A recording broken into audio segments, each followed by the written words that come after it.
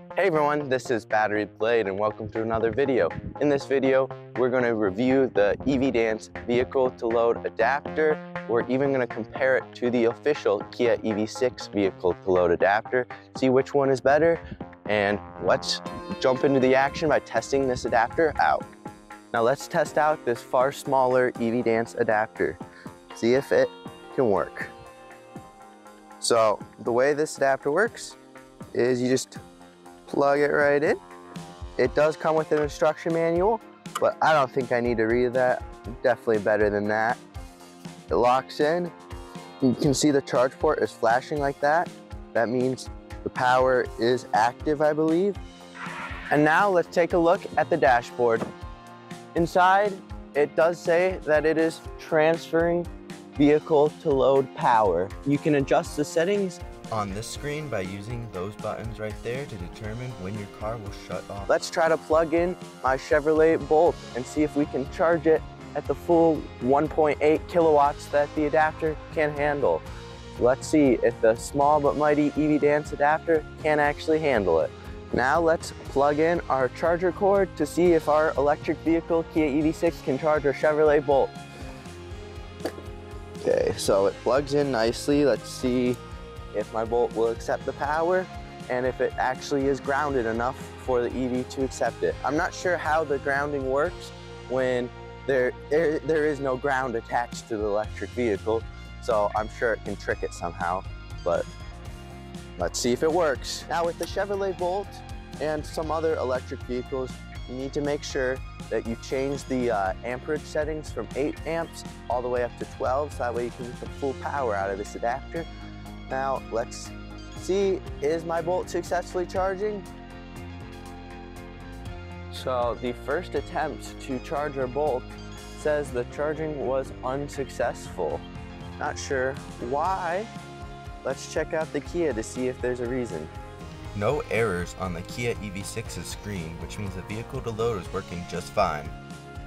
So we have our Tesla mobile connector here just to make sure that it is the adapter's fault that it's not properly grounded and not the charging cord that we were using because we want to be thorough. And now let's try to plug it into the bolt. The bolt says that charging is unsuccessful, which means that the adapter is not grounded properly as that is what it means on the Tesla mobile connector when it has one flashing light like that. The EV6 says it's providing power properly. See that? And then over here, it still says transferring vehicle to load. Now I'm gonna show you using the Tesla's diagnostics and just try to plug the mobile connector into the Tesla to show you.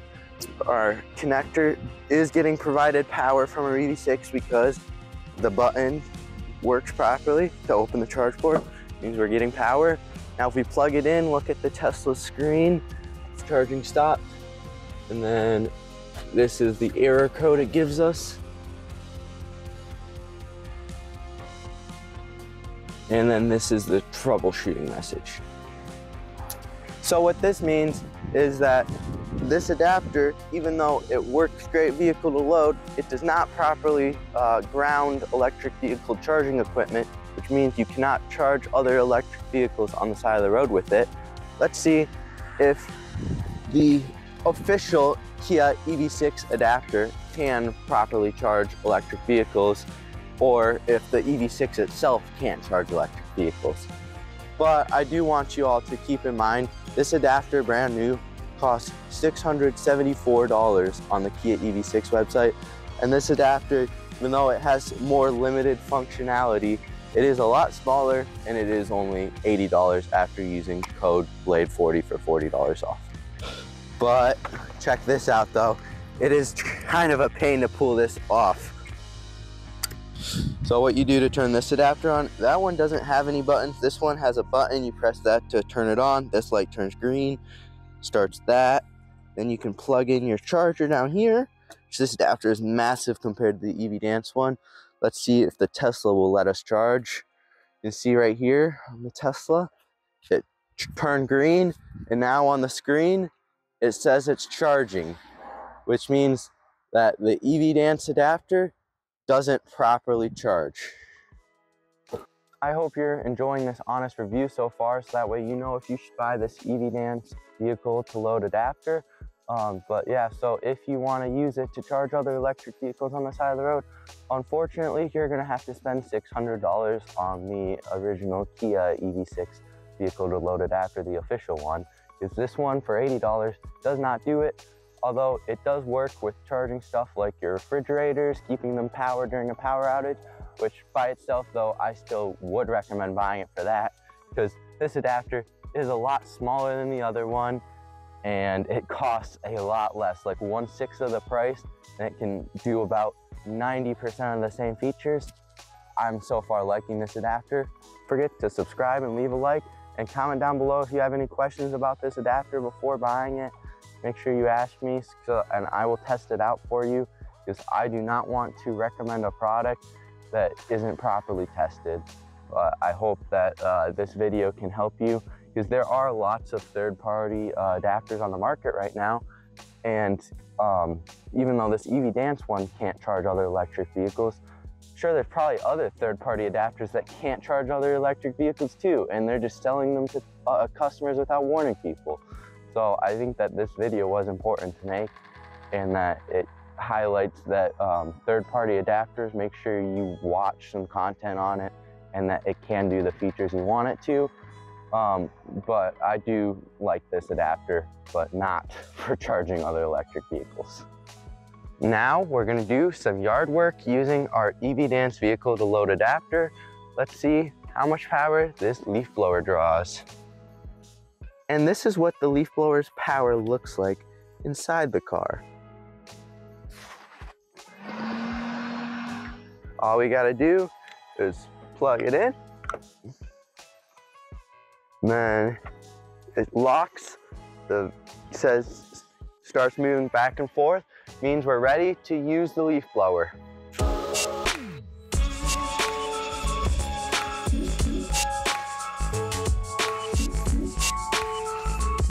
The adapter does not feel warm at all, so can easily handle 1.3 kilowatts worth of power.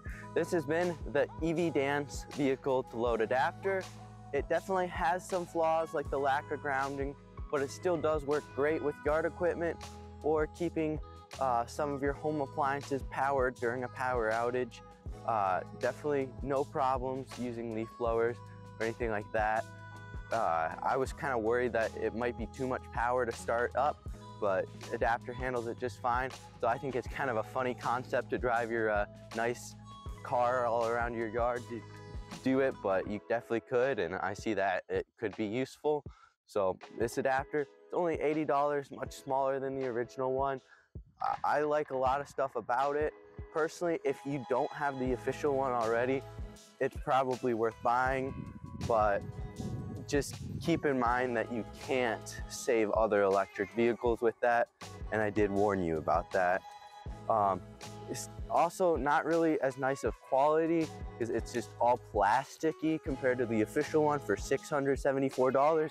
They at least gave it a metal latch, but um, so I, I do kind of like this adapter.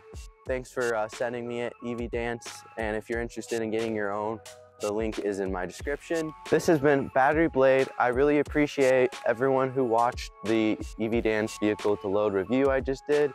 Uh, please leave a like and subscribe. I'll see you all next time in another video. Goodbye.